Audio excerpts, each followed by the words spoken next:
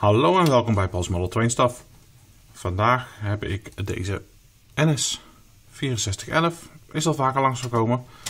Dit is het model uh, van Lilliput met twee motoren, twee N-motoren op elk draaistel. En ik heb er toen de tijd voor gekozen om deze in parallel aan te sluiten. Uh, als ik hiermee ga rijden, dan merk ik uh, dat één motor ehm, weinig grip heeft, de andere meer grip. En de motor met weinig grip heeft minder weerstand, dus krijgt meer stroom, gaat harder draaien, waardoor er minder uh, door de motor gaat met grip. Ofwel, wat je net zag in het begin, een heleboel herrie en weinig beweging. Dus wat ik wil gaan doen, is deze motoren in serie schakelen. Een aantal dingen van de decoder, zoals dynamische regeling van motoren, dat werkt dan niet meer. Maar hopelijk gaat hij dan wel rijden. Als hij dat dan ook nog niet doet, dan uh, heb ik een uh, andere uitdaging. Uh, dan is het misschien beter om hem analoog te maken en ongeveer eigenlijk weer terug naar analoog te brengen en misschien weg te doen. Want ik wil er wel mee kunnen, mee kunnen rijden op zijn minst. Um, hier zit nu nog een lees DCC in. En ik zou die wel willen vervangen, maar mijn decoders die ik heb op uh, voorraad. Deze is een Lock Pilot 4. Die is net zo breed, iets breder dan de printplaat. Maar de ruimte die hieronder zit is iets smaller dan de printplaat. En een standaard, even kijken. Even kijken of die misschien smaller is. Ik denk het niet. Hij is net zo breed. Ik heb een mini decoder liggen, maar die heb ik voor een ander doel bedacht. Waarvoor die ook nog zijn, uh, zijn plug nodig heeft.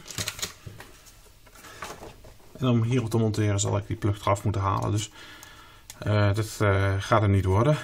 Um, nou, wat ik ga doen is vrij eenvoudig.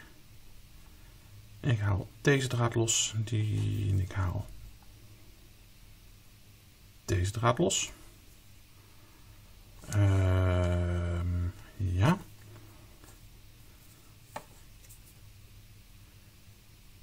En ik soldeer even om te testen deze draad kruislings erop.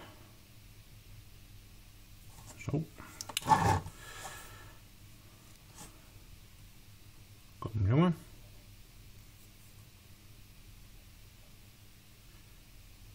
Oh, echt.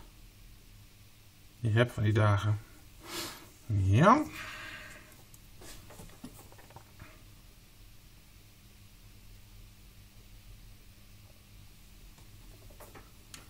Zo. Nu loopt de stroom vanaf dit, deze pin van de decoder naar deze pin door de motor heen. Naar de andere kant door deze motor heen, door deze kabel terug naar die pin van de decoder. Als nu een van de twee motoren uh, defect is, dan doet hij ook helemaal niets. Dat heb ik ook al een keer gezien bij deze. Ik ga heel even mijn baan, rollenbank omzetten. Dat, dit, uh, dat die uh, stroom krijgt van mijn, mijn treinbaan.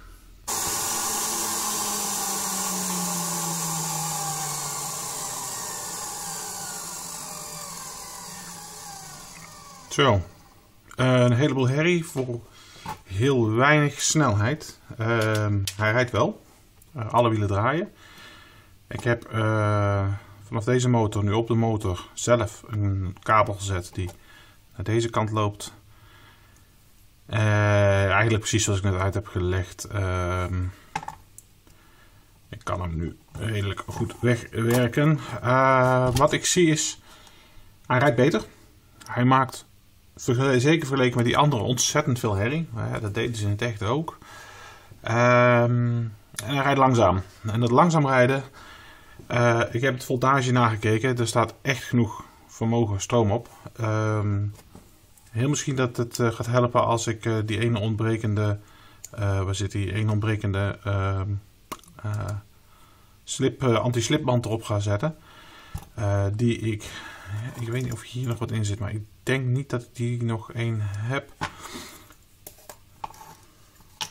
Die past. Het is niet dat ik er geen heb.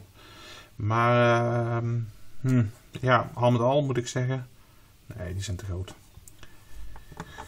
Dit is niet uh, hier van het. Maar ik geloof ook dat ze daarom bekend staan, deze versies van uh, de Lilliput 6400. Ik heb er ook dus nog eentje met uh, gewoon één motor erin. Uh, decoder er, erin gezet en die rijdt toch mooier. Ehm, probleem waar ik in ieder geval wel vanaf ben is dat het nu niet meer voorkomt dat er één motor loopt en de andere helemaal niet. Dus ik ga eens kijken wat dit gaat doen als ik deze in dubbel tractie laat rijden met de andere uh, eh, 6400. Of dat, het, dat, uh, of dat hij dan snel genoeg meegesleept krijgt dat er genoeg snelheid in zit. Of dat het gewoon alles heel langzaam wordt. Uh, maar dat kan ik dadelijk op de, op de baan even opnemen.